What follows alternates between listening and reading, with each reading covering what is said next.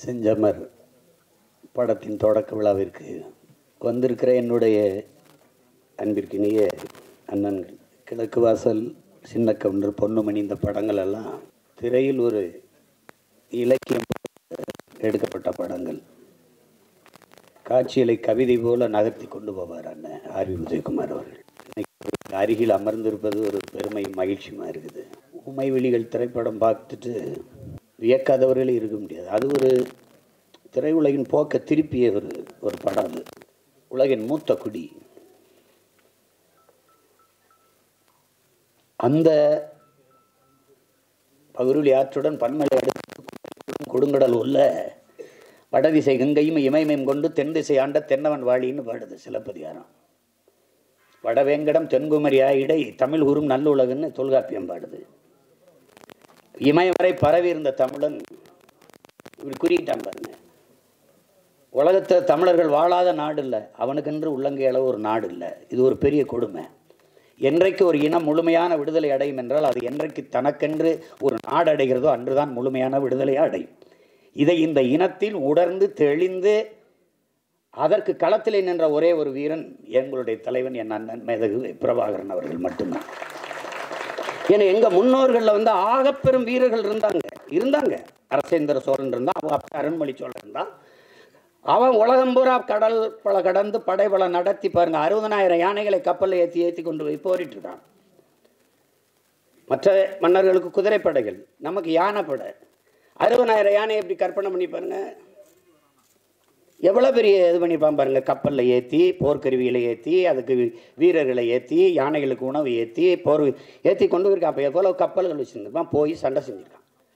சண்டைனா வரிசையாக அறுபதாயிரம் யானையை நிறுத்திட்டு வீரர்கள் ஏறி வேலும் வாலும் வச்சு நிற்கும்போது யானை காலை தூக்கி ஒரு சத்தத்தை போட்டோன்னே எதிரி காலில் வந்து கும்பிட்டு அருண்மொழி நீயே நாட்டை வச்சுக்க ஆண்டுக்கு என்னை ஆளை விடுன்னு.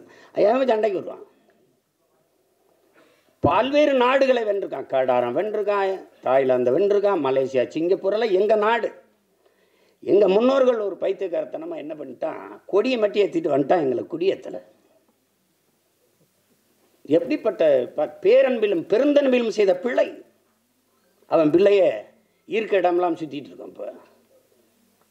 கடைசி அது எங்கே தெரிய வருதுன்னா அது எங்கள் தலைவருக்கு தான்.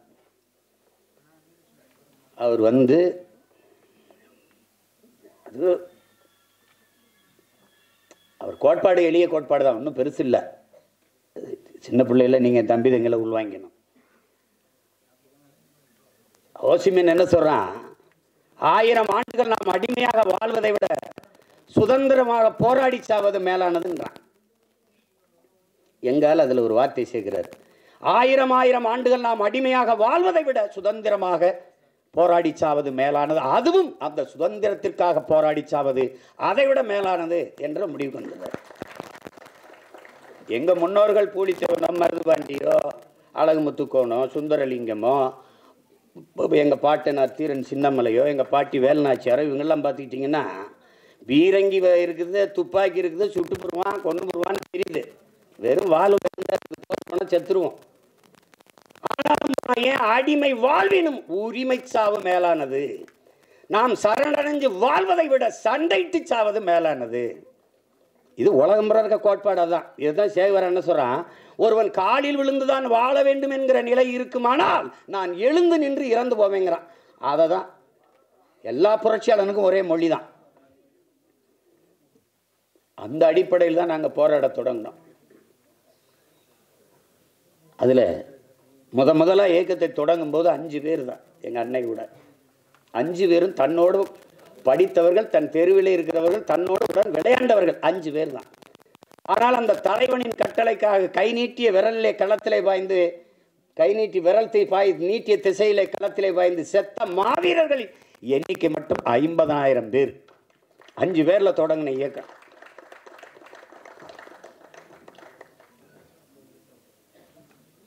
அது வரலாற்றில் பெரிய புரட்சி.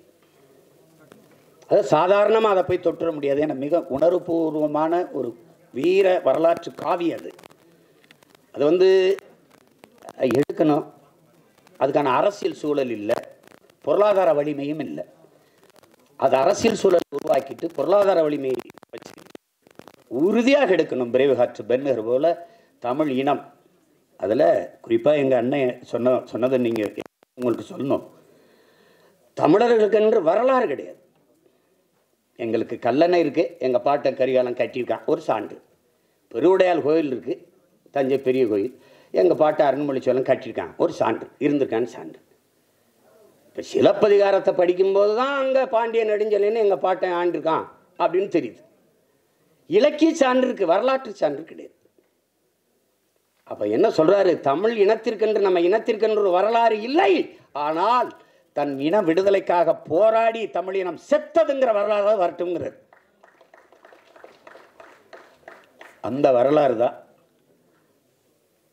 அதில் ஒரு துளி தான். செஞ்சமர்னு இன்னைக்கு ஒரு படம் வந்தால் கூட ஒரு துளி. அவர் அது ஒரு பெருங்கடல் அது ஒரு துளி. ஆனால் அந்த உணர்வை அந்த உண்மையை ரொம்ப கவனமாக கடத்தணும் மக்களுக்கு. இல்லைன்னா தமிழ் மன்சாரி தப்பிச்சிருவார். அண்ணன் சிக்கிக்கிருவேன். வாழ்த்துற நானே வையிற மாதிரி ஆயிடக்கூடாது. பாராட்டுற நானே திட்டுற மாதிரி ஆயிடக்கூடாது. பார்த்து செய்யணும். பார்த்து போப்பாம்போம்னா அதை பார்த்து பண்ணுப்பா. நியாயமார இதே பார்த்து பண்ணி விடுங்க. அப்படின்ற மாதிரி தான் இது.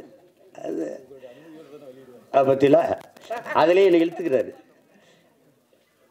இப்போ போட்டுருவா இப்போ இப்போ இது போகும்ல. இவ்வளவு ஊடகம் பார்க்குறதுல அங்கே போய் இந்த அண்ணா கதையை கேட்டிங்களாண்ணே? அது எப்படின்னா நல்லா வருமாண்ணே? இருப்பா எடுக்கட்டும்பா பார்த்துட்டு பண்ணுவோம் பாருங்க.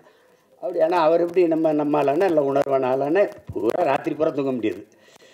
வண்டியில் ஏறி உட்காந்தோடனே கூட இப்போ அழைப்பந்தாலும் வரும். அதனால்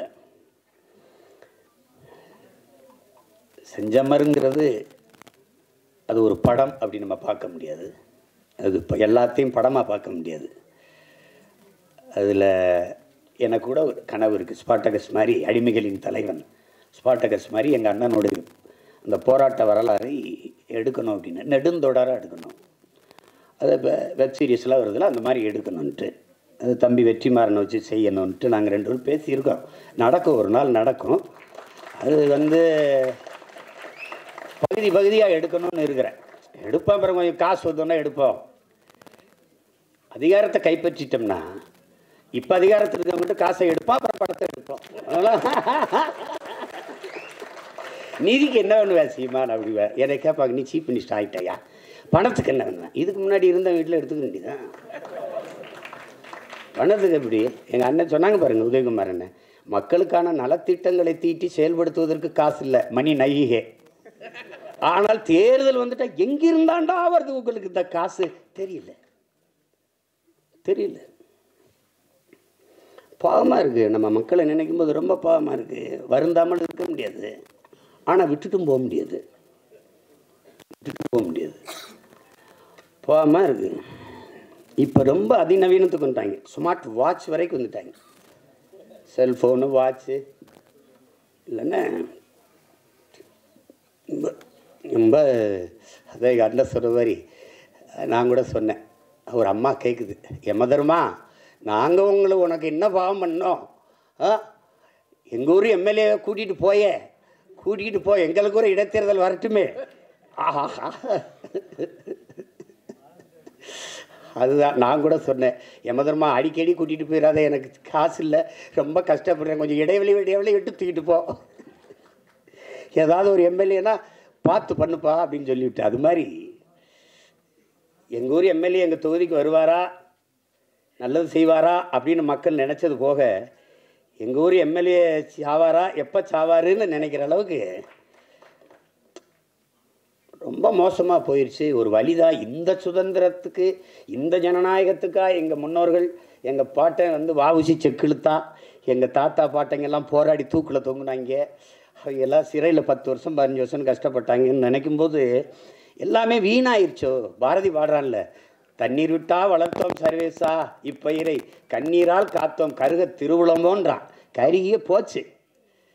அது ஒரு தலைமுறை இளைய தலைமுறை தம்பி தங்கைகள் விழித்து கொள்ளணும். அரசியல் புரிதலும் தெளிவும் உங்களுக்கு வரணும். அருகில் இருக்க கேரளாவை பார்த்தாவது நம்ம கற்றுக்கணும் அதுதான் இந்த படம் வந்து தம்பி தமிழ் மன்சாரி மேலே எனக்கு நம்பிக்கை இருக்குது நான் நல்லா செய்வேன் நான். புத்தகத்தில் இருக்கிறத காட்சிப்படுத்திட்டா போதும்.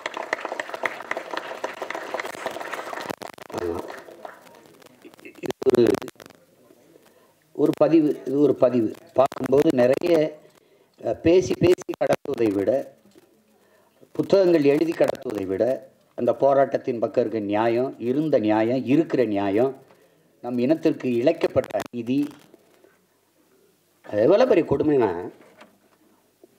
ஒரு இனம் படுகொலை செய்யப்பட்டிருக்கு அதை இனப்படுகொலைன்னு ஏற்க இந்த பன்னாட்டு சமூகம் சரி இந்திய பெருநாடும் மறுக்குது. போர் குற்றம் அந்த அளவில் தான் நிற்கிது நாங்கள் அந்த போரே குற்றம்னு வாதிட்டுக்கிட்டு இருக்கோம். ஒரு நாடுக்குள்ள ஒரு நாட்டுக்குள்ள சொந்த நாட்டு மக்களை இராணுவ தாக்குதல் நடத்தி அழிக்கவே கூடாது. ஆனால் முப்பத்தைந்து ஆண்டுகளாக ஒரு நாட்டு இராணுவத்தை செஞ்சிருக்கு. இப்போ இந்திய நாடுன்னு நீங்கள் சொல்கிறீங்க ஒரு ஜனநாயக நாடு சரி விடுங்க. அது இன்னைக்கு பணநாயக நாடாக மாறிடுச்சு விடுங்க. ஆனாலும் ஏற்கிறோம் என்னென்னா இந்திய நாட்டு இராணுவத்தில் வந்து தமிழர்கள் இடம்பெற முடியும் க- மலையாளிகள் இடம்பெற முடியும் தெலுங்கர்கள் இடம்பெற முடியும் பீகாரி குஜராத்தி இவங்களாம் இடம்பெற முடியும். ஆனால் இலங்கை இராணுவத்தில் தமிழர்கள் இடமே பெற முடியாது. வாய்ப்பில்லை. ஒரு ஒரு ஒரு நாட்டு இராணுவத்தில் ஒரு இன மக்கள் இடம்பெறவே முடியாது என்றால் அந்த மக்களுக்கு என்ன பாதுகாப்பு இருக்குன்னு பாருங்கள் ஒரு விழுக்காட்டு அடிப்படையில் அறுபது நாற்பது இல்லை எழுபது முப்பது அந்த விழுக்காட்டு அடிப்படையில் இராணுவத்தில் பங்கு அப்படின்னு சேர்த்திருந்தா கூட என் இன மக்களை என் அக்கா தங்கை இவ்வளவு வன்புணர்வு செய்து ஆயுதங்களை காட்டி அச்சுறுத்தி படுகொலை செய்து வீட்டை இடித்து நாட்டை அழித்து அழிச்சிருக்க முடியாது. அப்ப எந்த ஆயுதத்தை வைத்து தன் இன மக்களை அழித்து ஒழிக்கிறார்களோ சிங்களர்கள் அதே ஆயுதத்தை எடுத்துத்தான் என் இன மக்களை காப்பாற்ற முடியும் காப்பாற்ற வேண்டும் என்ற நிலைக்கு தள்ளப்பட்ட பிறகுதான் எங்கள் தலைவர் துவக்கை தூக்குறார். அது வரைக்கும் அதுக்கான அவசியம் இருக்குல்ல ஆயுதத்தை ஆட்சியாளர்கள் அதிகாரத்தில் இருந்தவர்கள் வம்படியாக அவருக்கு கையளித்தார்கள். அவர் பொழுதுபோக்கு துப்பாக்கி தூக்கி சண்டை போட்டாரா? இல்லை. நீங்கள் ஆங்கில அகராதி இருக்குல்ல டிக்ஷனரி? அதில் தட்டுங்க பல இதில் தமிழன் என்று தட்டுங்களேன் கூலின்னு வரும். ஒரு ஆள் வந்து துப்பாக்கி தூக்குன உடனே அந்த கூலி எடுத்துட்டு புலின்னு போட்டான். இப்போ தமிழன் தட்டுங்க புலின்னு வரும். இப்போ நான் என்ன பல்லெல்லாம் பாஸ்பரஸ் குண்டு விரலெல்லாம் துப்பாக்கியா? என்னையே அமெரிக்கா கனடாலாம் உள்ளே விட மாட்டேங்குது. அவர்தான். பேக்ரவுண்டில் இருக்கார்ல அவர் தான் பிரச்சனை எனக்கு. நான் நல்ல அழுக்கு பேண்ட் சட்டை தூக்கி வச்சுட்டு பையோட தான் போனேன். நோ கோன்ட்டேன் உண்மையிலே ஃபாரின் ரிட்டர்ன் நான் தான் ஃபாரின் போவேன் ரிட்டர்ன் ஆயிடுவேன். ஐயோ என்னை படாத பாடுபடுத்துவாங்க நான் நினைப்பேன். ஏடா இந்த பாடுபடுத்துறீங்களா அவர். அவ்வளவு பயங்காட்டி வச்சுருந்தார் இவங்கள. அது மாதிரி. இது நல்ல குழுவை வச்சிருக்கிறார் தம்பி தம்பி மன்சாரி. எல்லாம் இளைஞர்கள் ஒளிப்பதிவாளர் இசையமைப்பாளர் எல்லாம் ஆர்வமுள்ள இளைஞர்கள். இது ஒரு படைப்பு படம்னு சொல்லக்கூடாது. ஒரு வரலாற்று நிகழ்வு. அதில் ஒரு துளியை செய்யணும்னு ஆசைப்படுறாரு. செய்யட்டும் வாழ்த்துவோம். அதை பார்த்துட்டு இது பண்ணோம். ஏன்னா இப்போ இதுக்கு முன்னாடி எடுத்த படங்கள் முழுமையாக நேர்த்தியாக வராதனால அது சிக்கலாயிருது.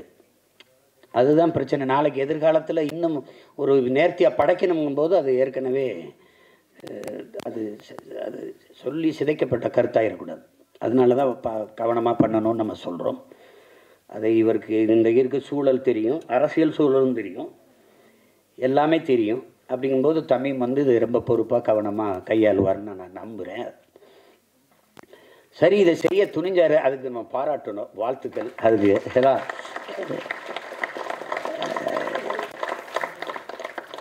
இப்போ அது இதுக்கு தயாரிக்கணும்னு முன் வந்த இரண்டு தயாரிப்பாளர் இல்லையா? இரண்டு பேர் இரண்டு நிறுவனம்.